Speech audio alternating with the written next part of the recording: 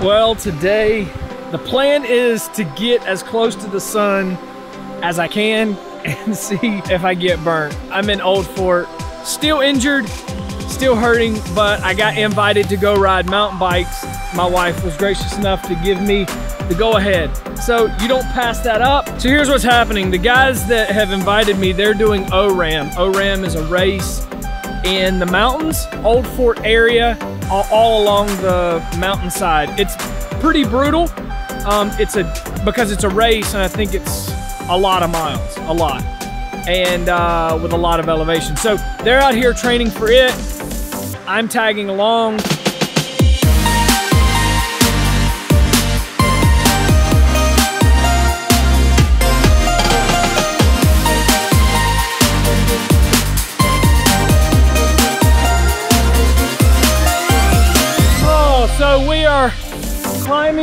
These gentlemen uh, leading the way, and it is gonna be a gorgeous day. Uh, a lot of cloud cover, temperature is perfect. Had a little bit of drizzle, uh, but man, going to be one for the books for sure. Hard to see, but made it to on Kitsuma's Climb. There are the guys. Hammering. Kitsuma. oh, time to go.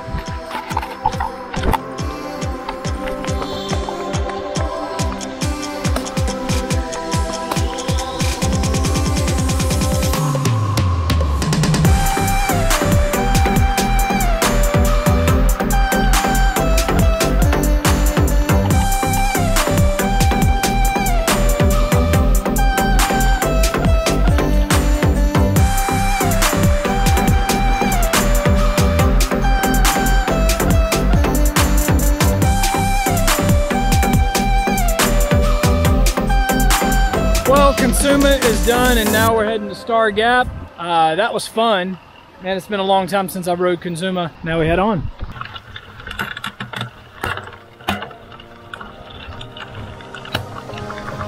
Brap.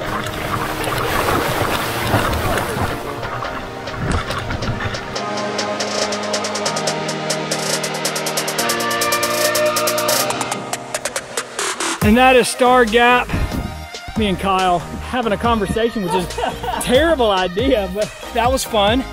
Star Gap, full conversation. This guy leading the way. Oh my gosh. And now to Curtis we go.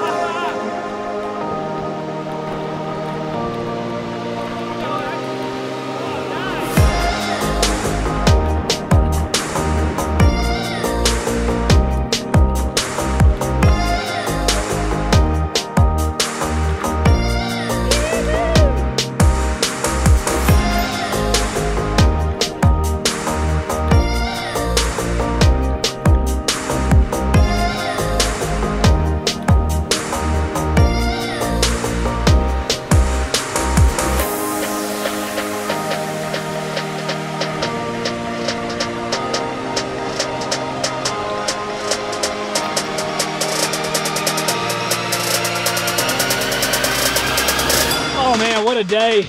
Uh, in the middle of Star Gap. That's uh, between Heartbreak and Curtis Creek. It's definitely a tough, tough ride. I mean, it's, it's fatiguing, you know. It's a lot of climbing. Currently at this moment, it's a lot of service road, high grass, single cut through getting over to Curtis.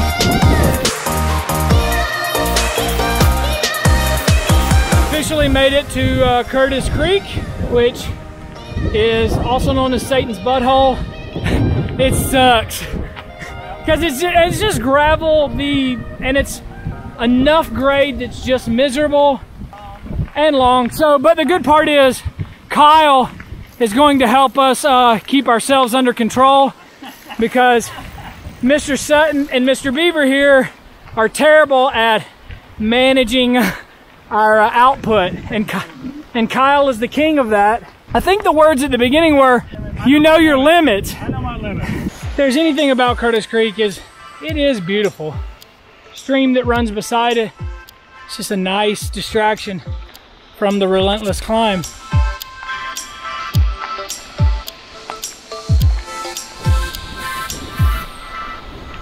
So, not all rides go as planned. Both thighs have decided to seize up. Luckily, it hasn't cramped while I was on the bike. It's just cramping while I'm walking. So we'll make it to the top. A bottle of water is empty. So that's always cool. Keep walking it out and enjoy the day. Well, if you hear that, that is water. And Kyle and I uh, ran out of water. Um, I was completely out. Kyle had a little bit left in a bottle, but uh, Kyle being the uh, smart rider that he is, he has a water filter and uh, and so currently filling up, trying to get my muscles to cool back down.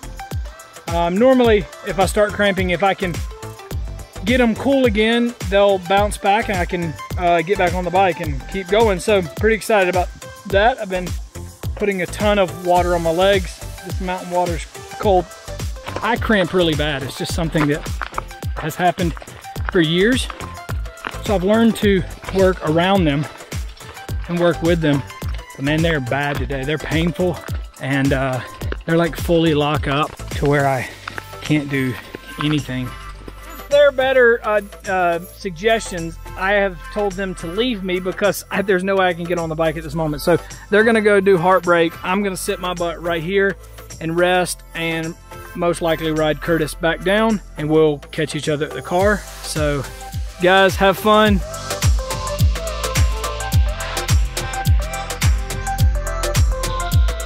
I rested for like 25 minutes. I'm gonna try to finish the ride. I can always turn around and come down Curtis Creek.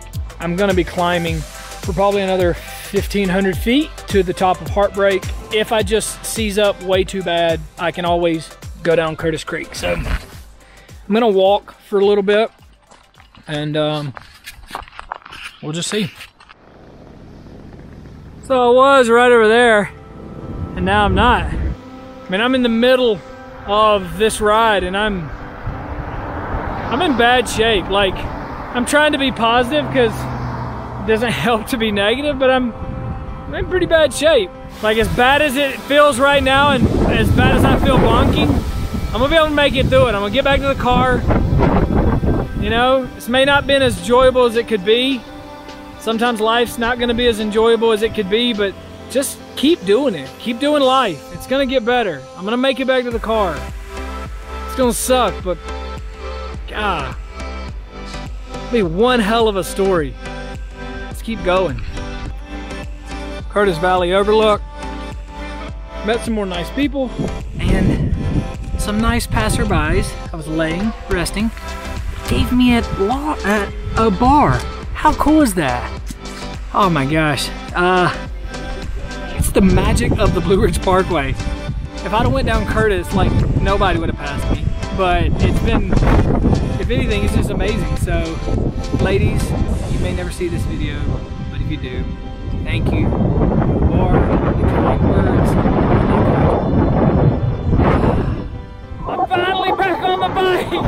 It's only been 10 miles. Oh my God. I am in so much pain, but just can't help but smile. Can't help but smile. Putting the camera away because I'm about to bomb this. What up, dude? Yeah, boys! Woo!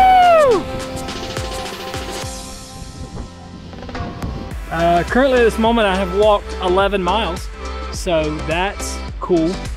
Um, I will have to say, if you've got to walk 11 miles, uh, these Bontrager shoes are freaking incredibly comfortable. Um, leg is not hurting, which is great. But yeah, 11 miles up Curtis Creek. Bottoms are staying nice. The reason why I'm telling you that's because I'm trying to distract myself. Trying to rest and recover before I go into heartbreak because I know once I go in there, uh, everything's gonna cramp and there's no stopping. Well, here it is. So the next hard part is hiking the bike up this gnarly section. Didn't want to get to the top without you getting to see the gnarly nest that you have to push the bike through. I made it up that without cramping, which, oh my God. Probably five miles back to the car, so super excited about that.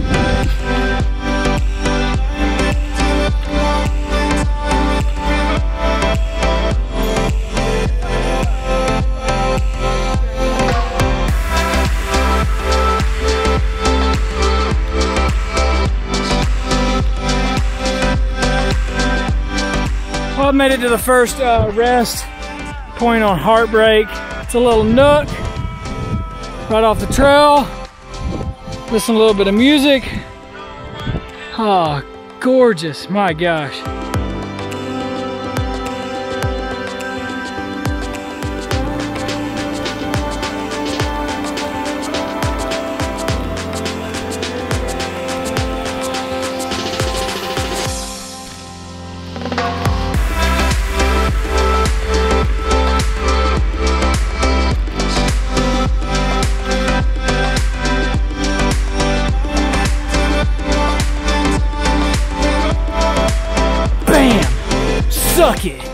I just came down that right there.